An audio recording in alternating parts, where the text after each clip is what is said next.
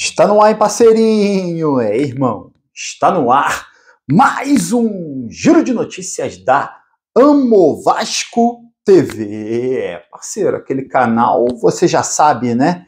Eu sei que sabe, mas tem gente que não sabe. É, tá chegando aqui agora. Eu sou o Felipe Bigode, aqui é a Amo Vasco TV, canal que não tem fake news, não tem sacanagem com você. São vídeos mais curtos, tá? As principais notícias do dia no nosso Vasco da Gama. É, você chega curtindo o vídeo, comentando e se inscrevendo no canal. Claro, se você não estiver inscrito, para dar aquela moral pro bigode toda vez que você curte e comenta.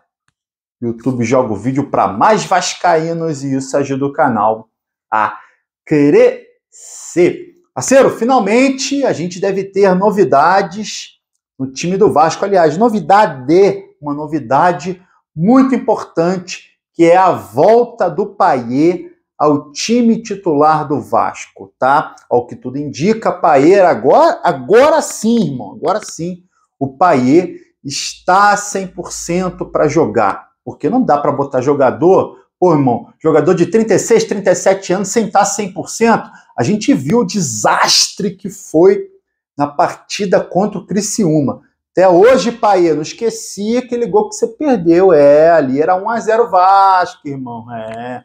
Mas estava fora de forma, né? Ainda sentindo a lesão, com medo, com receio, né? Nem era para ter jogado, o treinador colocou indevidamente o Paê para jogar. Enfim, águas passadas, o Paê está à disposição e deve ser o titular, tá? Domingo, seis e meia da noite, em São Januário, contra o Vitória da Bahia. Espero, inclusive, que o treinador possa montar finalmente um bom esquema. Treinador interino Rafael Paiva. Até agora, ó, irmão, não acertou de jeito nenhum esse time, né? Jogou contra o Fortaleza dois jogos, né? Contra o Fortaleza começou num 5-3-2 que não funcionou. Era um buraco enorme dos volantes até o ataque, né? Coisa horrível no primeiro tempo. Segundo tempo mudou para um 5-4-1 que também não funcionou. O Verrete sozinho lá na frente. Contra o Atlético Paranaense começou o jogo com um 4-3-3, mas aí logo o Hugo Moura foi fazer aquela besteira, é, foi fazer aquela besteira e aí acabou expulso e aí ele tirou um, um cara do ataque para colocar mais um zagueiro, mudou, colocou o zagueiro de lateral, puxou um lateral, colocou um pouco mais adiantado, enfim, não funcionou. De novo, duas partidas e o técnico interino não conseguiu montar né, um bom estilo de jogo para o Vasco. Espero, espero que dessa vez contra o Vitória ele consiga a volta do Paier. Aí vai jogar com o Paier centralizado ali no meio de campo com dois atacantes, o David e o ou vão ser três atacantes com dois volantes ali protegendo a defesa? Espero que os dois volantes sejam Esforza e Matheus Carvalho. Não dá para inventar não, irmão. O Hugo Moura está expulso, tá? E aí abre um parêntese sobre o Hugo Moura. Eu falei que ele fazia bem a posição de, de volante, ele acabou indo muito mal contra o Atlético Paranaense, teve uma falha, né? Recuou a bola errado, acabou sendo expulso. Ele está fora de forma.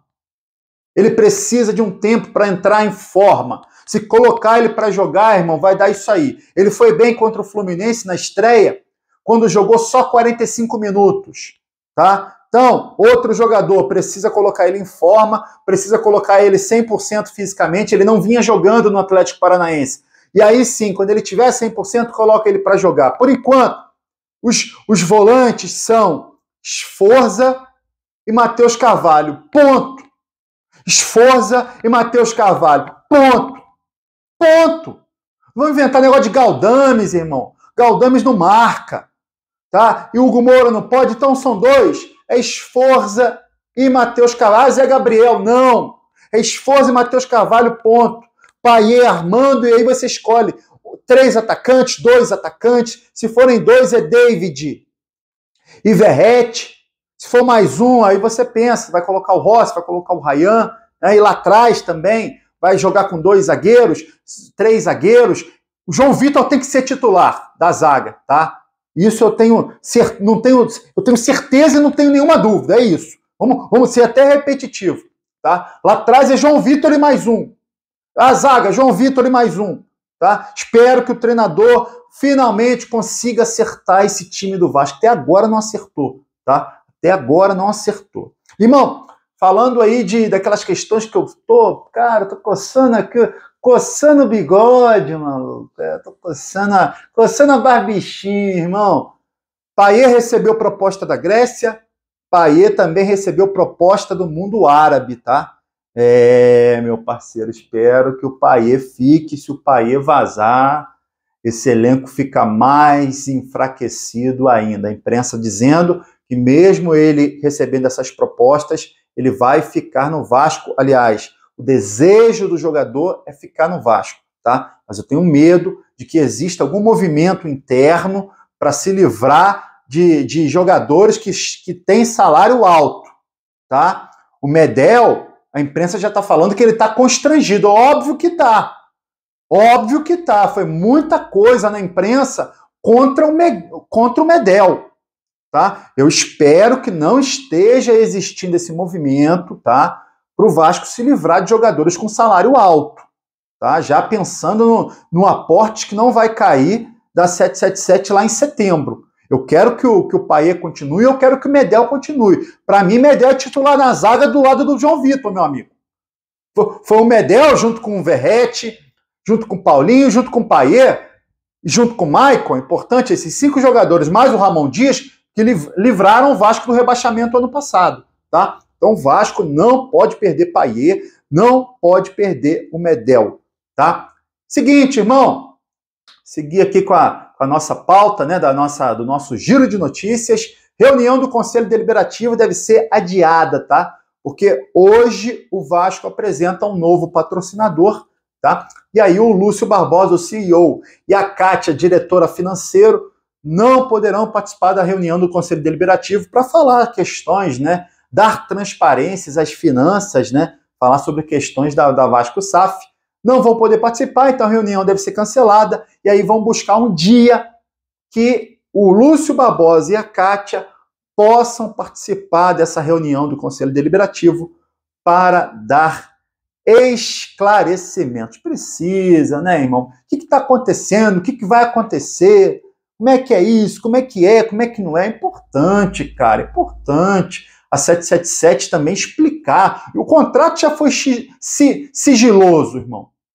Agora não vão falar o que está acontecendo, não vão ser transparentes, aí não dá. Aí a torcida vai ficando contra, a gestão já não está legal, futebol já não está legal, e aí a torcida vai ficando contra. Tá? Eles precisam sim dar satisfações ao torcedor do Vasco. Irmão, com relação ao novo treinador, Pesolano, parece que a gente vai cair naquela. Esquece! É, meu amigo. O Pesolano ele não vai sair do, do Valladolid antes de terminar o campeonato. Ponto. É isso, tá? Então o Vasco já está vendo, inclusive, outro treinador. Sondou o treinador Alex. Lembra do Alex? Alex Cabeção, ex-jogador?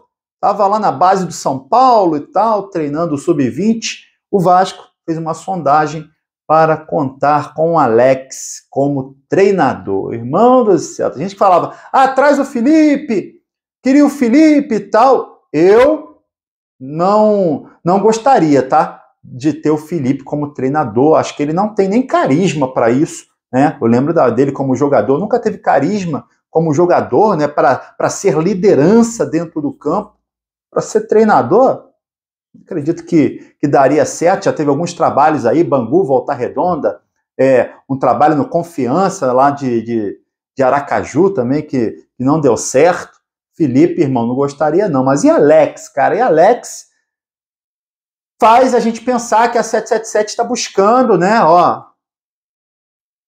treinador barato no mercado, irmão, treinador barato, sem experiência, com a pressão que o Vasco vive. Vai dar certo? Não, irmão. Vai dar certo de jeito nenhum. Eu fico pensando, pô, será que estão se, querendo se livrar do Medel, que tem salário alto? Querendo se livrar do Paier, que tem salário alto? Se livraram do Ramon Dias, que tem salário alto? Para não trazer ninguém na segunda janela. E ainda pegar um treinador barato? Ah, irmão, aí é brincadeira, irmão. Aí a Série B é logo ali, meu amiguinho. Né? Pô, tomara que a mentalidade mude, né? Que a 777 passe a levar o, o futebol do Vasco do tamanho que o Vasco e o Vascaíno merecem. Queria que você comentasse sobre o nome do Alex Cabeção como treinador do Vasco, né? O último nome aí que foi sondado. Deixa a sua opinião aqui e aí você curte o vídeo e se inscreve na Amo Vasco TV para dar aquela moral. Pro bigode eu tô indo nessa, tá? Valeu! Saudações vascaínas.